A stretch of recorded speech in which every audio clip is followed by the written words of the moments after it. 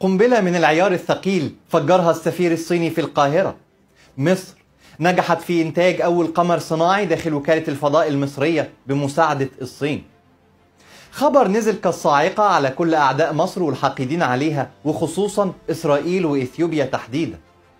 وخد بالك إن الخبر ده ليس صادر عن الحكومة المصرية ولكن من الصين بذات نفسها اللي أعلنت نقل تكنولوجيا التصنيع لمصر. كأول دولة إفريقية وعربية تمتلك هذا النوع من التكنولوجيا يا ترى الكلام ده حقيقي ولا مجرد شو ونمرة حكومية؟ وهل مصر محتاجة فعلا تصنع أقمار صناعية؟ وده هيعود علينا بإيه؟ وإيه القيمة العسكرية والاقتصادية والعلمية المضافة لمصر من امتلاك تكنولوجيا تصنيع وإطلاق الأقمار الصناعية محليا؟ وليه إسرائيل وإثيوبيا تحديدا مرعوبين من الخطوة دي؟ حلقة النهاردة كلها مفاجآت. وحلقة مهمة. وهتعرف فيها حاجات عن بلدك يمكن أول مرة تسمعها. عشان كده مهم جدا تسمع الحلقة دي للآخر. فاكر لما سرحوا لجان إلكترونية لنشر الدونية واحتقار النفس وجلد الذات؟ اللي لسه شغالة لغاية النهاردة بسكريبتات. هي مصر بتنتج قلم رصاص. هو السيسي عمل إيه غير شوية طرق وكباري؟ رغم إنك كل يوم بتشوف مصر وهي بتدخل باب جديد في عالم الصناعة.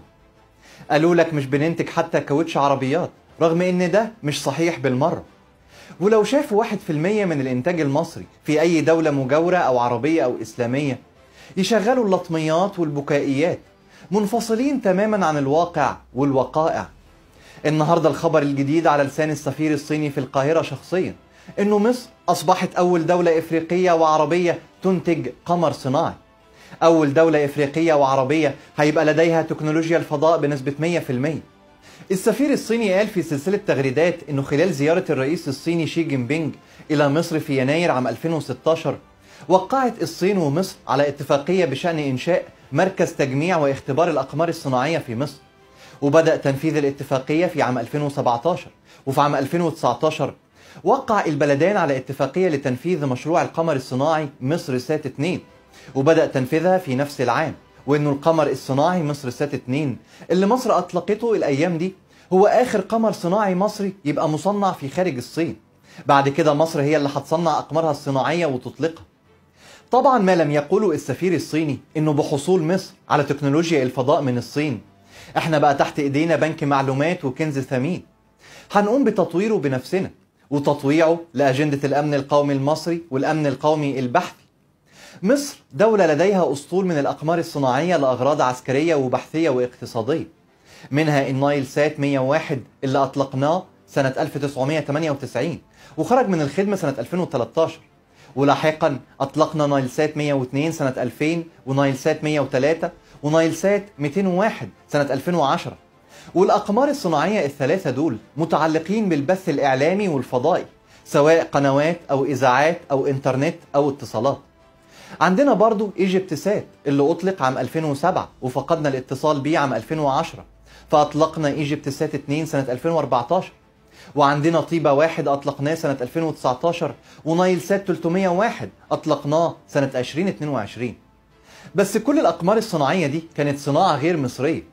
كنا من الآخر كده بنشتري القمر الصناعي بالتكنولوجيا بتاعته وبعد ما بنستلمه ونمتلك دفة قيادته بنعمل بيه اللي إحنا عايزينه. إيجيبت سات اللي أطلق سنة 2007 إسرائيل اعترضت عليه وقالت إنه ذو نشاط تجسسي. والبعض قال إن ده سبب فقدان السيطرة عليه سنة 2010 وأن هناك لعبة أمريكية جرت لتفجير القمر الصناعي المصري في الفضاء الخارجي. بس مش ده أول أو آخر قمر صناعي مصري يبقى متهم بالاتهام ده. وعموما مفيش قمر صناعي في العالم أجمع مهمته الوحيدة هي الإنترنت أو الاتصالات السلكية واللاسلكية وتحميل القنوات والإذاعات وبس. ولكن الأهم دايما هي القيمة العسكرية سواء في المراقبة والتجسس أو الاتصال العسكري المشفر في أماكن لا تغطيها وسائل الاتصال التقليدية بالإضافة لتوجيه الأسلحة والصواريخ المتطورة والقوات الجوية والدرونز والقطع البحرية وغيره. اللي بيملك الأقمار الصناعية في مصر هي هيئة الاستشعار عن بعد طبعا هي هيئة حكومية. ولكن من كام سنة الرئيس عبد الفتاح السيسي أعلن تأسيس وكالة الفضاء المصرية. طبعا ساعتها سرحوا لجان إلكترونية تهزر وتتطاول وتسخر منها. بس في النهاية النهاردة الهيئة دي بقت بتمتلك تكنولوجيا فضاء صينية مش موجودة في أي دولة عربية أو إفريقية أو حتى آسيوية. دي علوم حصرية أخدتها مصر ومش هتفضل علوم صينية. إحنا هنضيف عليها ونحدث فيها بما لدينا من معلومات وعلوم. وهيتم إنتاج علوم فضائية وأقمار صناعية مصرية خالصة في السنوات المقبلة.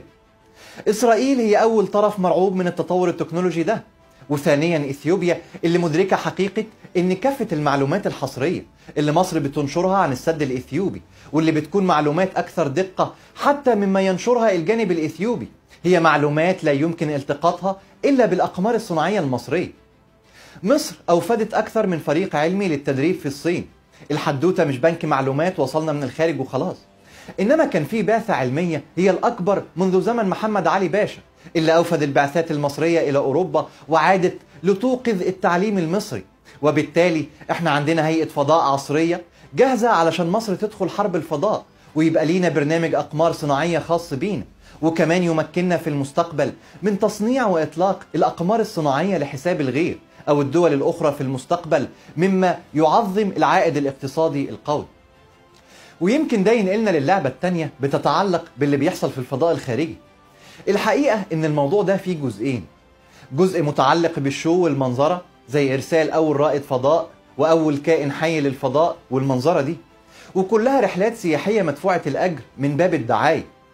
وفي بحث علمي حقيقي لمعرفة أي موارد طبيعية موجودة في الكواكب الأخرى قادرة على أن تفيد البشرية. يعني أنت بتشوف أمريكا وروسيا والصين ودول تانية بتصرف مبالغ ضخمة لغزو الفضاء. ده مش شو أو لعب ولكن مع التقديرات المتسارعة إنه الموارد الطبيعية بتنتهي على سطح كوكب الأرض. ففي محاولات للبحث عن الموارد دي في الفضاء. الدول اللي هتلاقي الموارد الطبيعية دي هتبقى مجانا. تخيل مثلا